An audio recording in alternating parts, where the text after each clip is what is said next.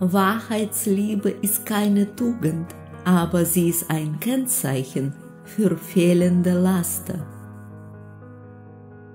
Spott hat der Wahrheit noch nie geschadet, aber im Spotter stockt das Wachstum der Wahrheit. Die üblichste und häufigste Ursache für die Lüge ist zwar der Wunsch zu täuschen, aber nicht andere, sondern sich selbst. Und das ist auch die schlimmste Lüge.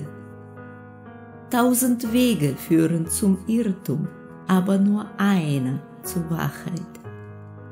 Es gibt kein größeres Unheil, als wenn der Mensch die Wahrheit fürchtet, damit sie ihn nicht entlarvt.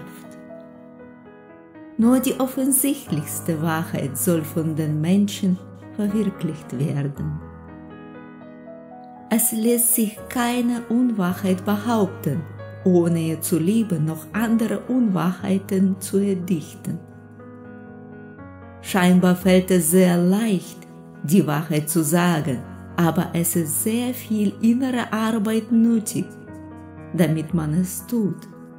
Der Grad der Wahrheitsliebe des Menschen ist ein Hinweis auf das Grad seiner moralischen Vollkommenheit.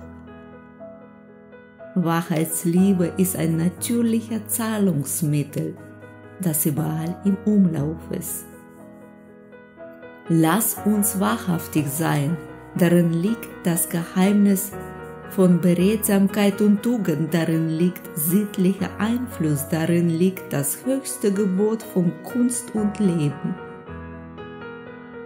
Es ist ein sehr häufiger Irrtum zu denken, es gebe Handlungen, bei denen man von der Wahrheit abweichen könne. Die äußeren und inneren Folgen jeder, auch der geringsten Unwahrheit sind ihm viele schädlicher als die Unbequemlichkeiten und Unannehmlichkeiten, die uns aus der offen geäußerten Wahrheit entstehen können.